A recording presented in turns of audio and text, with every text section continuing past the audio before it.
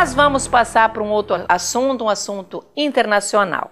Minha gente, nós aqui deste programa sempre reafirmamos o nosso repúdio aos regimes ditatoriais, sejam de esquerda, de direita ou mesmo religiosos.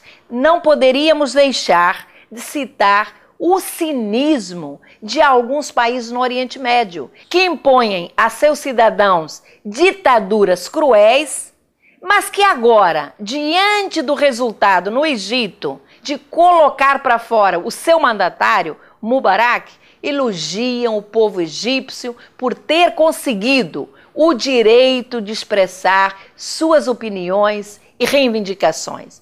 Refirma ao Irã, que mandou prender 1.500 opositores ao regime de Ahmadinejad, defendendo a morte dos líderes do movimento popular que expressam suas opiniões. Fez o mesmo com as sanções impostas ao acelerar a construção da bomba atômica e ameaçar os países daquela região, principalmente Israel, não é, Gerson?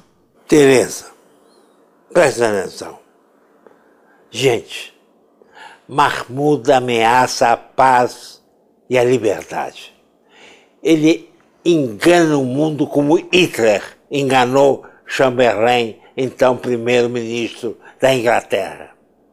Hoje traremos para vocês trechos de um discurso proferido em 1962 pelo presidente John Kennedy, duplado por nós, quando os Estados Unidos reagiu à Rússia de Nikita Khrushchev pelo fato dos russos terem montado em Cuba mísseis nucleares apontados para os Estados Unidos e que levariam o mundo a uma hecatombe. Mas vamos ao discurso do Kennedy. Vale a pena ouvir. Boa noite, meus concidadãos. Este governo, como prometido, vem mantendo a mais rigorosa vigilância sobre o acúmulo militar soviético na ilha de Cuba.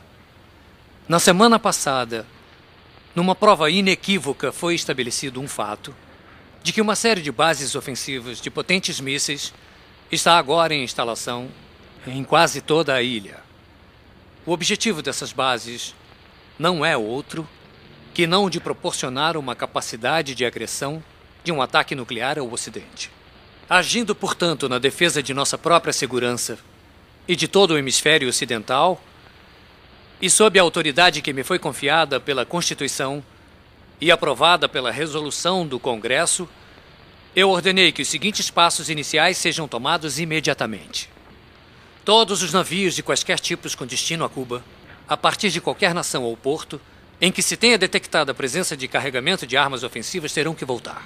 Será a política desta nação interpretar qualquer ataque nuclear, partindo de Cuba contra qualquer nação do hemisfério ocidental, como um ataque da União Soviética contra os Estados Unidos, cabendo resposta retaliatória e total à União Soviética.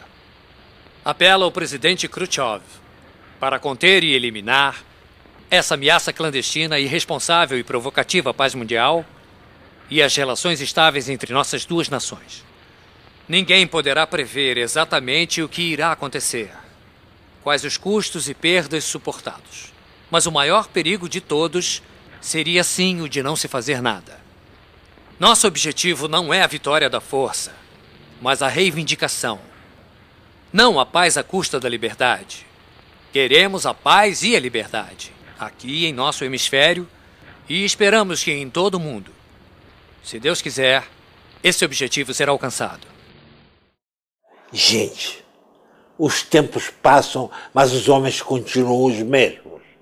Naquele momento, Khrushchev entendeu o recado do Kennedy e seus navios que partiam carregados de mísseis nucleares mudaram de rumo e se afastaram de Cuba. A humanidade estava salva. Neste momento em que Mahmoud oferece um sério risco à humanidade, com possível construção da bomba atômica, precisamos de homens com atitude forte, como a de Kennedy, que temos certeza seriam respeitados pelo ditador do Irã, pois ele não se assusta com sanções impostas pela ONU. Gente, não podemos deixar de alertar para uma coisa. O movimento de oposição a Ahmadinejad, o Mahmoud, é contra ele, mas não contra a construção da bomba atômica. Sem dúvida alguma. O movimento contra o Mahmoud não é suficiente para afastar a ameaça da bomba atômica, que representa uma ameaça não só ao Oriente Médio, mas ao próprio equilíbrio mundial. Vejam só o que o presidente Kennedy definiu em 1962 na, na crise dos mísseis de Cuba, que foi, sem dúvida alguma, um novo tratado de Tordesilhas no mundo. Pois é, Pedro e Gerson, o Marmude precisa ser contido. Mas por quem? Infelizmente, hoje, a humanidade carece de líderes, como foi o presidente assassinado dos Estados Unidos, John Kennedy.